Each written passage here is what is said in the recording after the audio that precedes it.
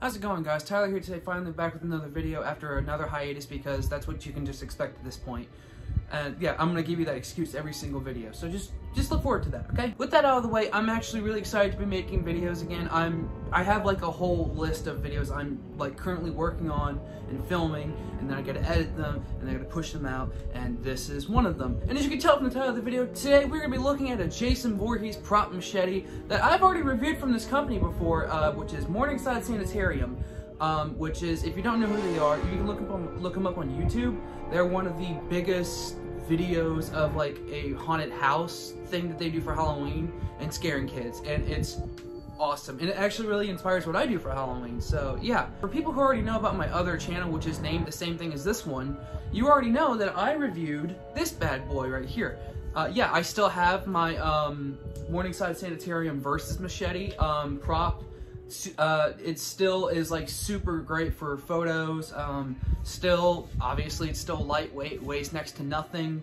Um, and the machete we're reviewing today is by the same guy who made this one, um, but there is a little bit of a catch to the machete that I'm reviewing. Yeah, I mean, it's been like uh, almost two or three years at this point now that I've had this.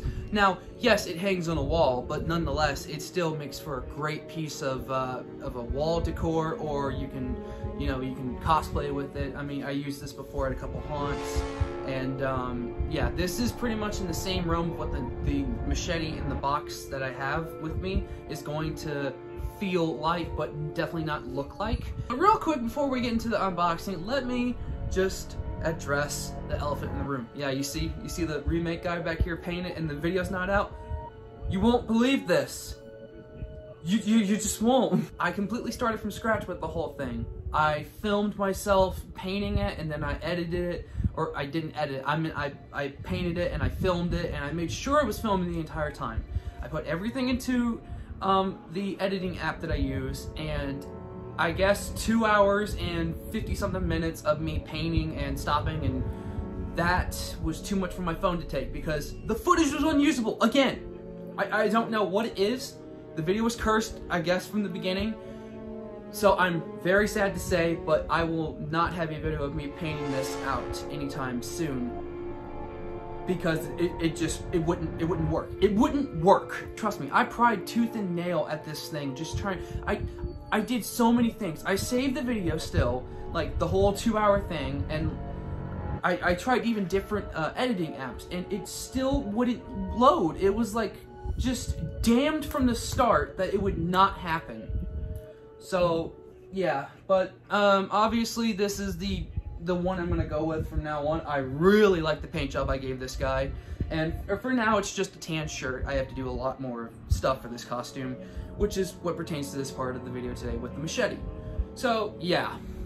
I curse this damn video because it, it never got made and it would have done probably so well. Not not just like view-wise. I think people were just always interested in seeing how other people paint and do things. Yeah, with that out of the way, um, let's get on with the unboxing in this video. But real quick, uh, today was a really good mail day for me. Uh, I don't know why I'm adding this in. I just want just everyone to know. Um, other than the machete that I got today, in case anyone just wanted to know, I don't know, I just want to add this in myself. We have uh, three CDs I got in the mail today. We have um, Awkward and Depressed by Canadian Softball. Um, we have Alive or Just Breathing by Killswitch Engage, and we have This Is Exile by Whitechapel that just shows you a little bit of the variety of the kind of metal and pop punk that I kind of dig. So I just thought I would mention that. Yeah. But with that out of the way, let's finally get into the unboxing of this machete. And my God, this is a uh, a pretty uh, long package or big package as they would say. Anyways, um, yeah. So this is the package for the machete. Um, and so here's the interesting thing to note. I haven't addressed this yet. I should have earlier. This is a prototype, uh, which means this is the first edition of this machete that Tom, I still remember your name, has made of this machete. So it's, um, as I saw from the, uh, the pictures, it is a not complete one, um, which is why I got it for a really good deal. Um, but I also knew that like I could trust Tom to give me something that like I could, you know, probably finish working on myself because that sounds fun. So it is, un there is a couple spots that are still unpainted and it just has a primer coat on it.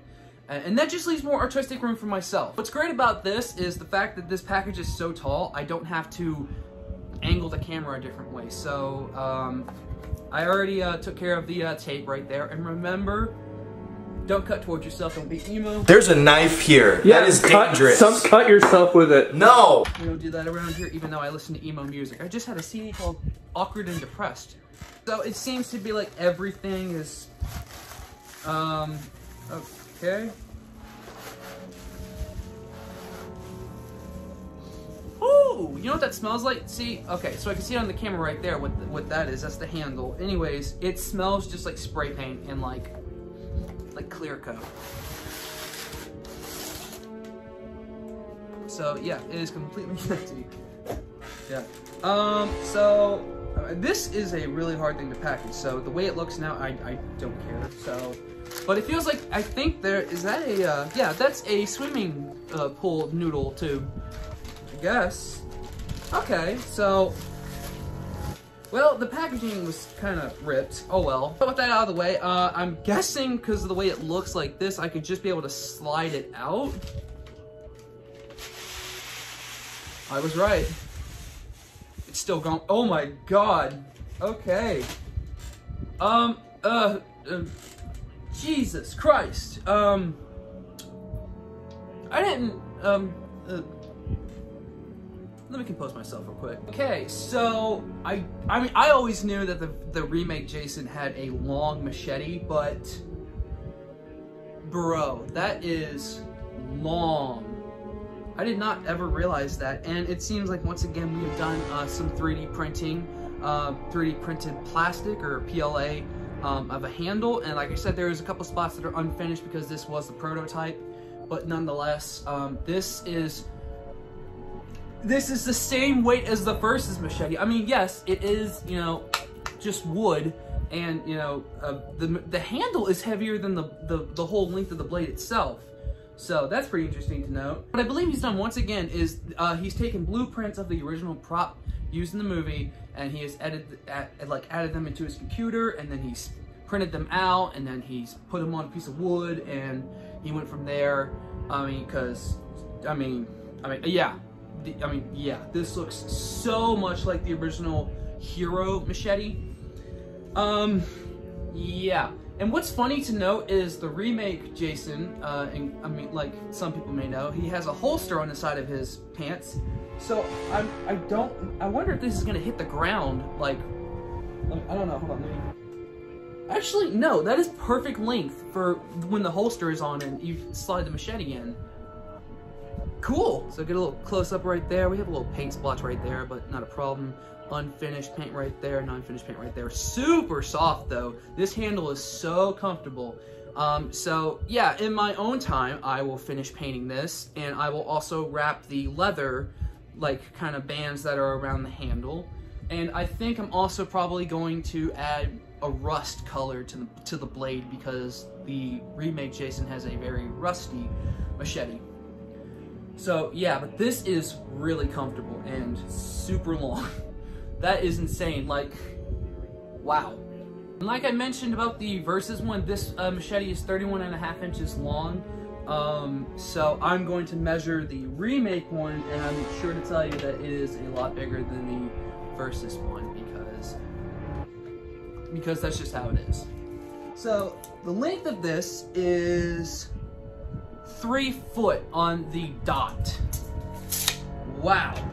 So, a three foot long machete is what Jason used in the remake. It really puts into perspective, especially if you have a small, like, like 10 inch Jason machete. That I think he like used a, a 10 inch or, or something like that in part three, I think. Um, and you put it up to this big hunk of motherfucker. I don't, I don't know. Compared to this bad boy, that is nothing. This is really sick. Um, and I cannot wait to finish painting this. And also, it's gonna look so good hanging on my wall. And it'll go really good with this cosplay when I'm done with it because, yeah.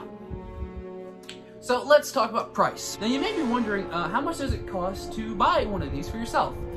I don't know because this is the prototype. I got this for a really slamming deal of 60 bucks. Um, versus uh, I think I paid like 90 for a complete one.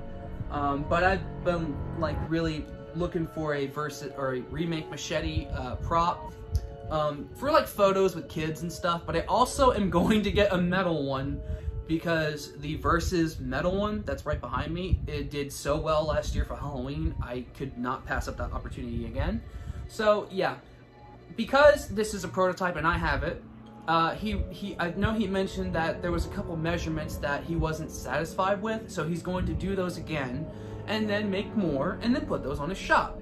So, yeah, so I have the prototype, and he's making more. So you just have to wait for him to make the post about, hey, I've got more. I recommend you look out for those because the quality of these props, just really nice. Super lightweight, you can carry them all day.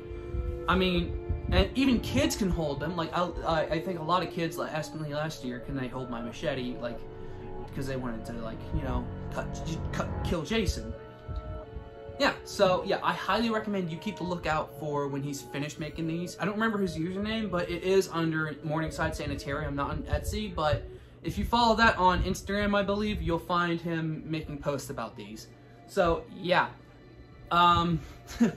my final conclusion is this is super cool and i think i've already mentioned that already but like i i, I don't know yeah but yeah that is going to do it for this video of this really sick uh machete um, and I really hope you guys enjoyed watching this, and I hope you'll stick around for the new videos that are coming.